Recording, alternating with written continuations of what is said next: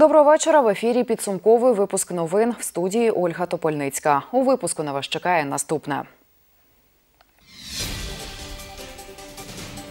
Начальник Нацполіції області В'ячеслав Починенко нагадав про заборону радянської символіки. Велопатруль сьогодні повернувся на вулиці Житомира, де чергуватимуть патрульні на велосипедах. Обласні протипожежні навчання провели у Малинському держлісгоспі.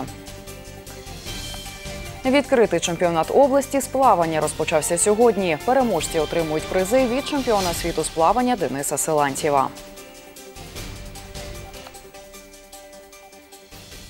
Півтисячі поліцейських будуть стежити за дотриманням громадського порядку під час святкувань 1, 8 та 9 травня у Житомирській області.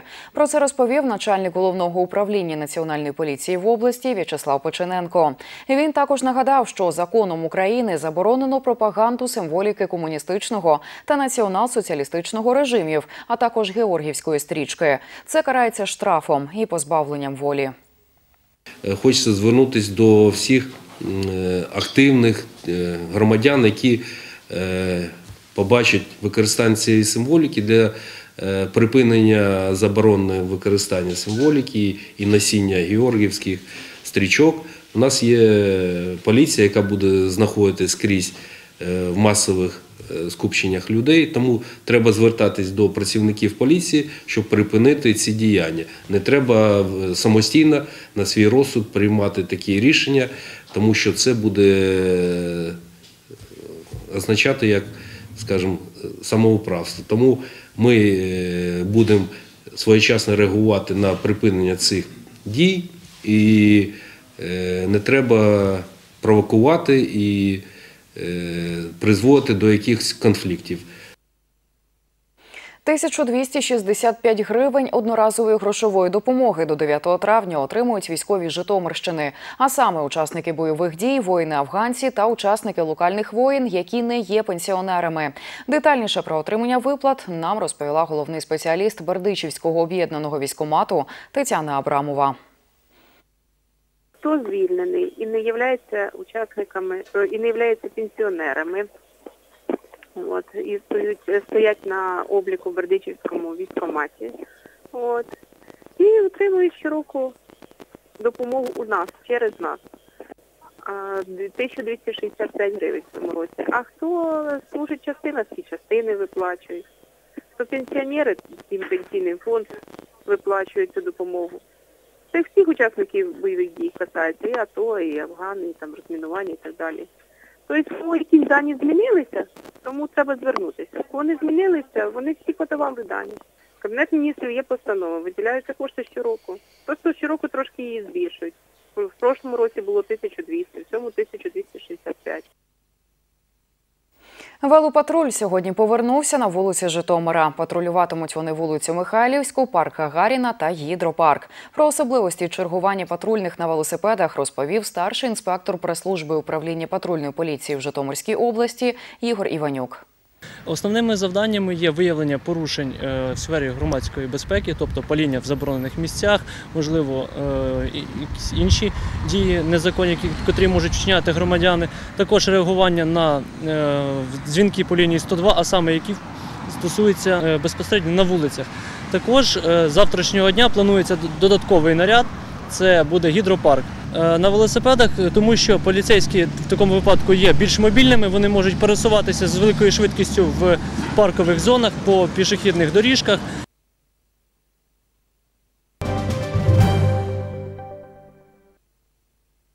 Посадовця головного територіального управління юстиції області викрила на хабарі прокуратура Житомирщини. Вчора ввечері його було затримано. Про це нам розповіла прес-секретар прокуратури області Тетяна Гоша. Чиновника викрили, коли він отримував тисячу доларів хабара від житомирянина за зняття іпотечної заборони з придбаної квартири.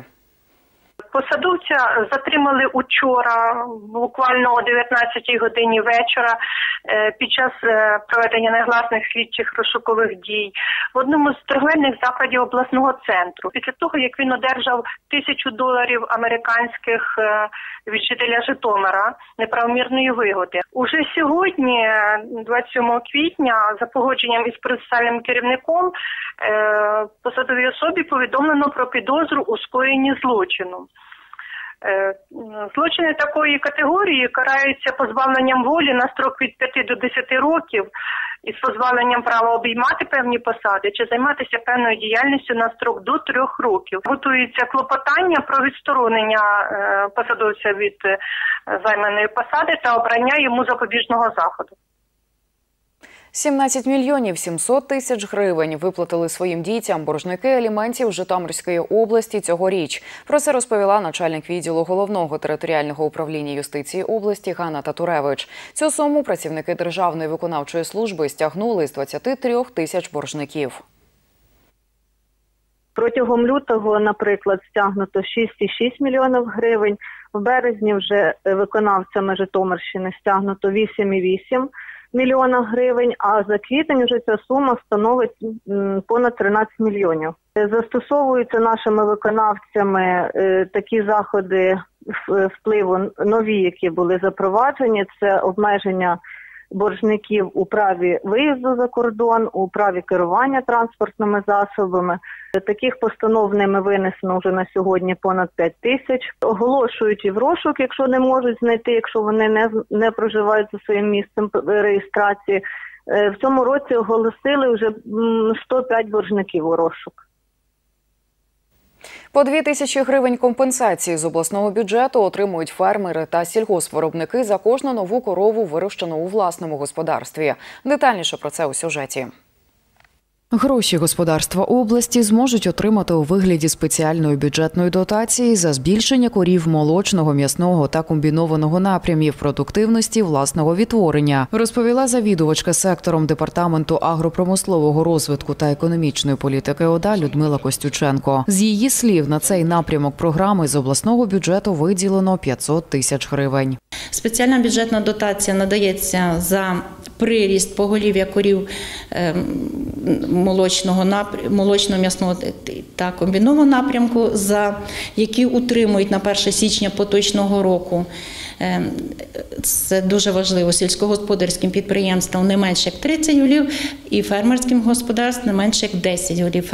Дотація надається в сумі 2 тисячі гривень за кожну прирощену голову власного відтворення, що дасть змогу е, наростити обсяги виробництва молока та м'яса яловичини, поліпшення ситуації з зайнятістю сільського населення, самодостатністю територіальних громад.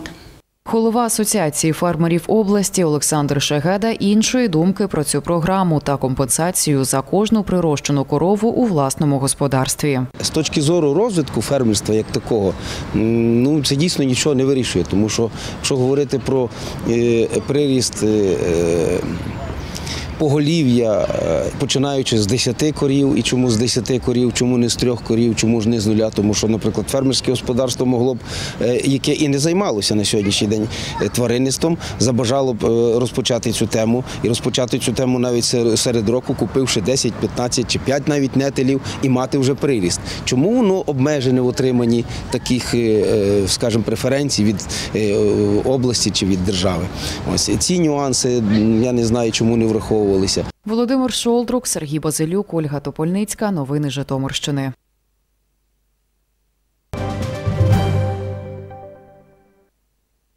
Обласні протипожежні навчання відбулися сьогодні у Малинському держлісгоспі АПК. Вогонь у лісі гасили пожежні та лісівники. За легендою, займання сталося на кількох ділянках лісу.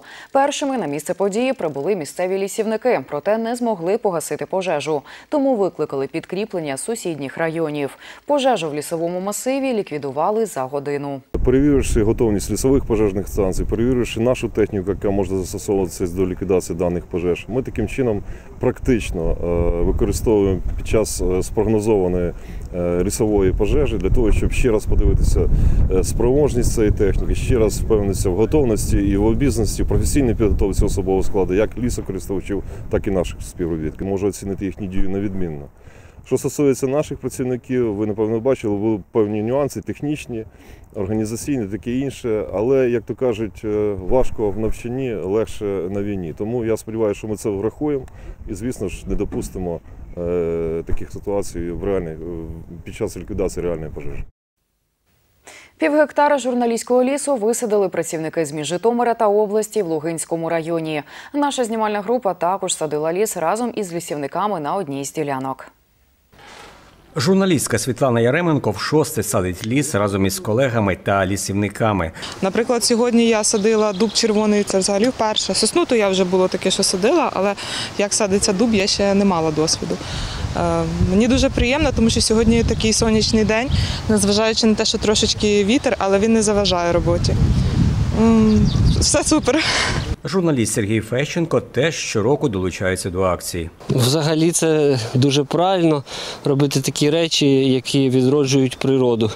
І відчуваєш себе людиною після цього, що ти не споживач, там який, а що після тебе залишається благо, яке ти робиш своїми руками. Потрібна робота в першу чергу для душі. Головний лісничий Лугинського держлісгоспу АПК Сергій Бовсунівський каже, те, що щороку в акції беруть участь журналісти, є символічним. Буде бажання приїхати, ми поставимо табличку, побачити, коли можливо привезете навіть своїх дітей, внуків. Буде пам'ять для наступного покоління. Люди будуть приходити відпочивати, ну згадувати добрим словом. За 9 років журналісти створили ділянки лісових культур в Народицькому, Житомирському, Овруцькому, Олевському та інших районах, розповіла керівник прес-служби обласного управління мисливського та лісового господарства Наталія Горай. В складі управління 12 лісгоспів, тому маємо надію, що ліс, створений руками журналістів, з'явиться в кожному лісгоспі. Сподіваємось, що ми обов'язково їх будемо відвідувати і милуватися результатами своєї праці. Михайло Синьогуб, Леонід Харшан, Віктор Підвисоцький. Новини Житомирщини. Житомирянка Вероніка Кратюк стала чемпіонкою Європи з кунг-фу, перемігши росіянку. Змагання відбулося у Вірменії. У ньому взяли участь 150 спортсменів з 13 країн. Вероніка Кратюк розповіла про своє захоплення китайськими бойовим мистецтвом. Я хочу цього звання. Титул це чемпіонки е, світу і світу і Європи, тому що я знаю, що я спроможна. Вже з першого е, тренування я закохалася у цей від спорту і зрозуміла, що це моє. Дівчина каже, що в житті боєць щоденно тренує тіло, вимоглива до себе. За її словами, саме це і допомогло стати чемпіонкою Європи. 29-річна Вероніка працює поліцейським в Андрушівському відділенні поліції. Робота не з легких. Ти за е, е, добу виснажуєшся, а коли бачиш посмішку дитини, то сам е, становишся як дитина і радієш цьому. Ну сам не розумієш, чому ти ось в такому піднятому на- настрої. Стати капралом поліції вдалося лише з другої спроби, розповідає Вероніка Кратюк. В територіальному відділенні працює півроку. Я дуже гордий, що до мене такий напарник. Вероніка дуже справедлива, добра. Я б не сказав би, що вона навіть займається цим спортом. Спортсменка і поліціянтка за перемогу отримала знак пошани головного управління національної поліції. Олена Кучмій, Тетяна Обозанюк. Новини Житомирщини.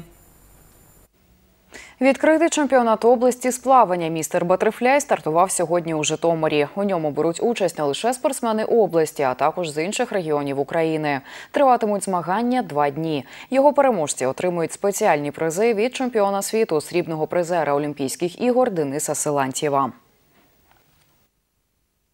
Приехало к нам э, три команды, команда Бердичева, а также приехали две команды из Киевской области, это Бровары и Борисполь. За прошедшие сегодняшние соревнования, э, ну, очень довольны результатами. Установлено несколько рекордов области э, в разных возрастных группах. И дети вот на этих соревнованиях довольно неплохо показывают результаты. Они поулучшали э, разряды. Ждем еще результатов завтра. На цьому підсумковий випуск завершений. Якщо ви стали свідками подій, повідомляйте про них до нашої редакції за номером телефону 41 33 90. Далі про погоду. Завтра, 28 квітня, в Житомирі та області переважатиме хмарна погода з проясненнями. Продовж дня по області можливі короткочасні дощі. Вітер північно-західний 3,8 метрів за секунду. Температура по області вночі 4-6 градусів тепла, вдень 18-21. В Житомирі вночі температура повітря становитиме 10-12 градусів, вдень 17-20 з позначкою плюс.